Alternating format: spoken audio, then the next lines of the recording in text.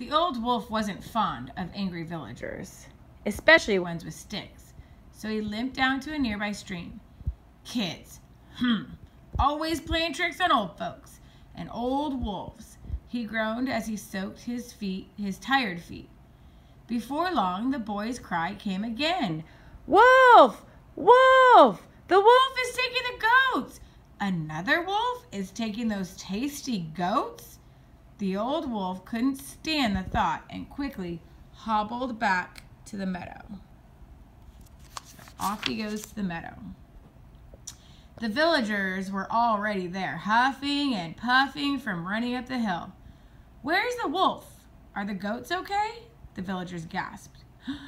What wolf? The boy laughed from behind a tree. The old wolf watched the villagers stagger back down the hill. There's got to be a way to get one of those scrumptious goats from that trickster, he thought. Perhaps through a trick of my own. So now the wolf is ready to play a trick on the boy. The old wolf sat down to work out a plan and was soon snoring away and dreaming of Mooshu goat and double goat dumplings.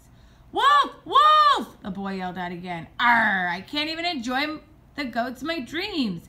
That boy is worse than weeds, the old wolf growled.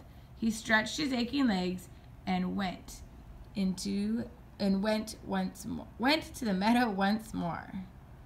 All right, so now the wolf has decided to do what to get some food. So remember, the problem is that the wolf is hungry. He went to see if the person was willing to share, but he wasn't. He was just playing tricks on the villagers. So now what has the wolf decided to do? To try to get some food. Food meaning eat one of those goats. So he has decided to play a trick, right?